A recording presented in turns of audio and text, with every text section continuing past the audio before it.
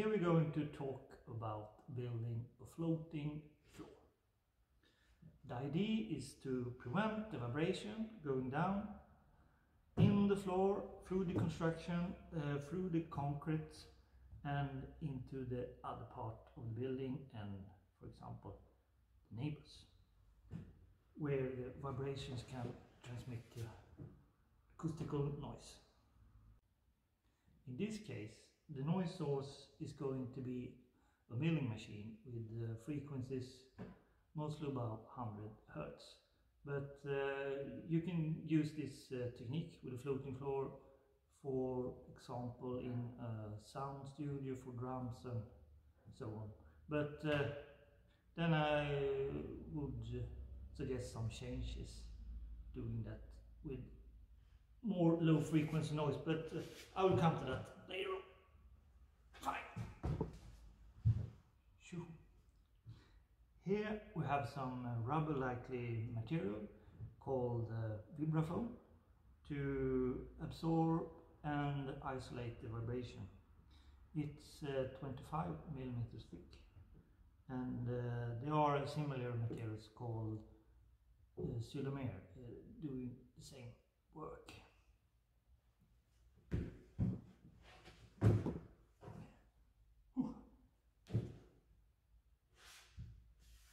It's a low budget movie this. I have no cameraman so I have to move up and down. Let's quit uh, talking now and start building. Uh, the first thing is to build a frame with uh, wooden joist. 45 uh, twice 70 millimeters is used here. And uh, of course the angle should be 90 degree. No high tech here.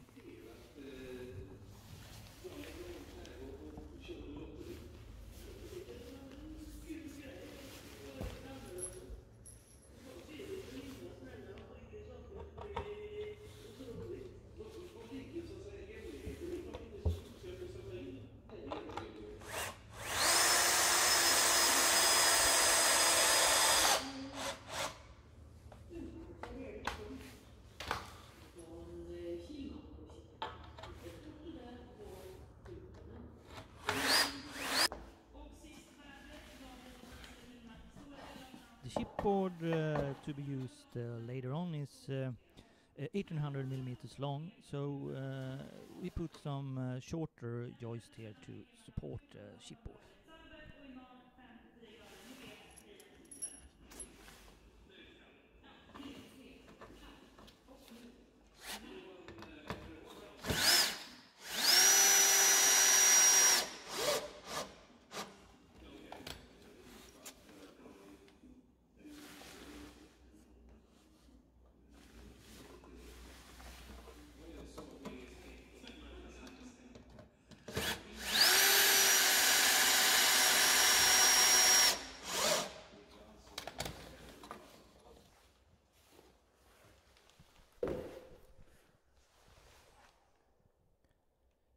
Now it's uh, time for the blocks of uh, vibrafoam. It's uh, 25 millimeters uh, thick, and uh, we're using uh, 25 of them here.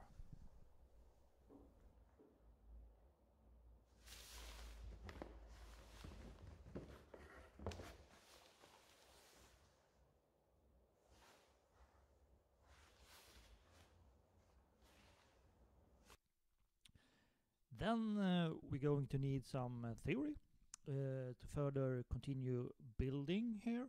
And if you don't like theory, you can just jump two minutes ahead or something. It is very important to properly choose and dimension your vibration isolators. Otherwise, your floating floor won't work.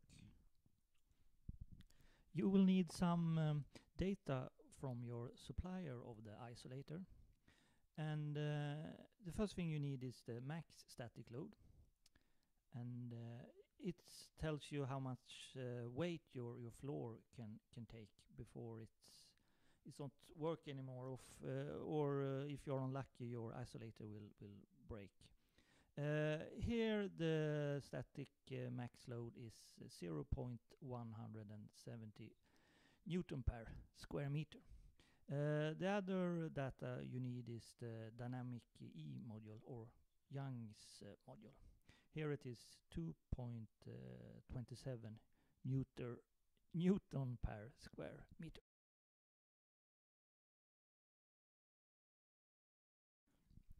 Then you have to figure out how much mass uh, you will have on your isolator. Uh, it's the, the weight from the floor and everything that stands on the floor, including people.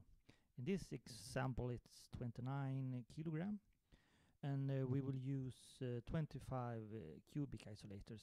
So the total weight on the floor will be 720 kilograms take your mass uh, here uh, 29 kilograms and uh, multiply it with 10 to get the force in newton the, the gravity constant and uh, divide it with the length and the width of the isolator. It's uh, the length is uh, 60 millimeters here and the width is 45 millimeters and then you get uh, 0.11 newton per square millimeters. That is the static load on the isolator. And then finally you have to compare your calculated uh, static load with uh, your maximum static load. And in this case 0.11 is smaller than 0.17 which is okay then. If not, you have to increase the stiffness of your isolator or increase the area of the cube of the isolator. The closer you dare to have your static load to the maximum load uh, on your isolator, the better it will work and the natural frequency will be lower. But uh, what is then the natural frequency? If you have a mass and uh, a spring here, a rubber band, and you put some NUV, it will uh, start oscillating with uh, frequency, uh, the system's natural frequency. If you wouldn't have any damping in the rubber band, uh, the, the ball would just continue oscillating forever. To calculate your natural frequency, you can use the following uh, formulas. And uh, uh, when you know the natural frequency, you can get a hang of uh, how well your isolator will work and, uh, and for which frequencies. Input to the formulas are the mass load on the isolator and the dynamic uh, E module. Uh, the mass load is here 25 kilogram and this will get the result 14.6 hertz. At this uh, frequency, 14.6 Hertz, the isolations of the floating floor will be very bad and the vibration level will be increased. But uh, in this case, uh, I have no sound energy there, so and vibration levels, uh, so it won't be any problem. Uh, if you multiply with uh, 1.4, 14.6 Hertz, you will uh, get an idea where where the isolator will start to work here uh, above 20 hertz. And if you have a computer program you can calculate how uh, well your isolator will work for a certain uh, frequency. For example at 14.6 hertz uh, the natural frequency you will increase your vibration levels with up to 20 dB, so not good, but uh, it will start work at 20 hertz.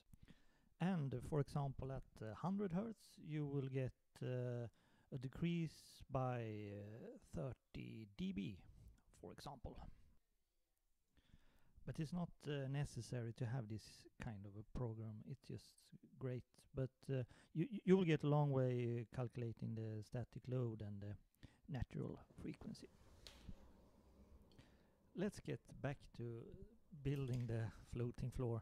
Uh, we need to glue the isolator to the wood. And of course, don't use any nails or screws. Um,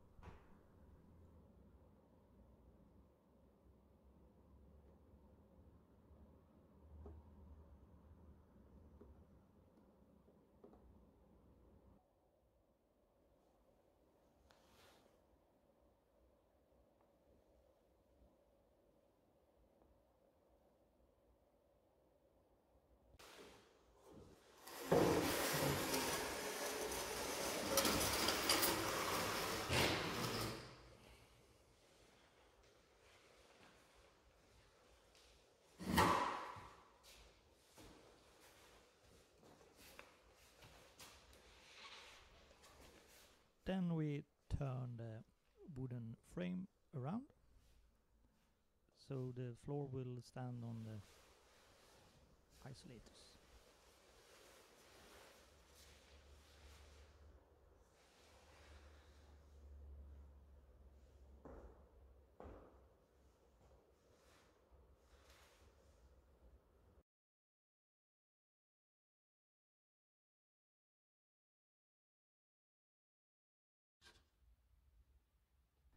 And uh, then uh, we put some chipboards on the wooden joints. Uh, the chipboard is 22 millimeters thick, and you can also add some plasterboards if you like.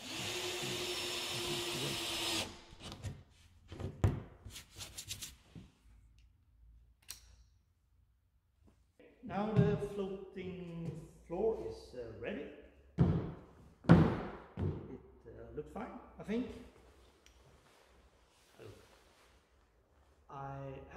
Decided uh, when I'm putting the machine here if I'm going to build like a local box around the machine to get some uh, sound isolation to prevent the annoying no- noise to spread around the room here.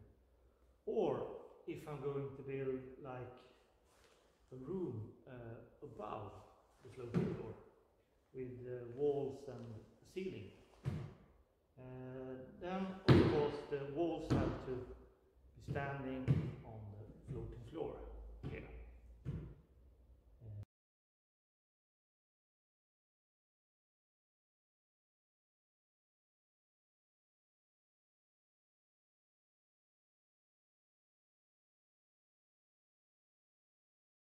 If you're going to build a floating floor for a, a more low frequency noise, I would uh, suggest some uh, changes. Uh, I would increase the height of the floating floor because uh, you will get uh, uh, resonance between the floor and the concrete here, and with that resonance, you will get very low. Sound isolation. So I would at least uh, double the height here to 150 millimeters or something.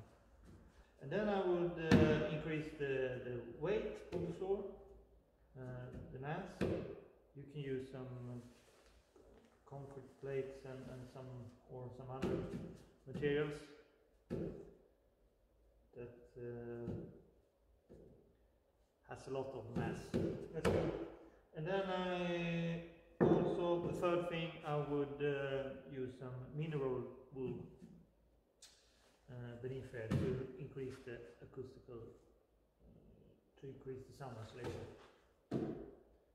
That's the three things. Okay.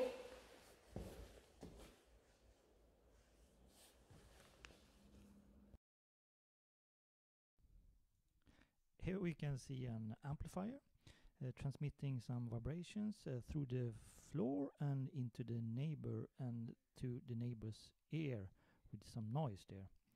And uh, then we see the solution here, the floating floor, and uh, it's quiet and nice at the neighbor. Thank you for watching.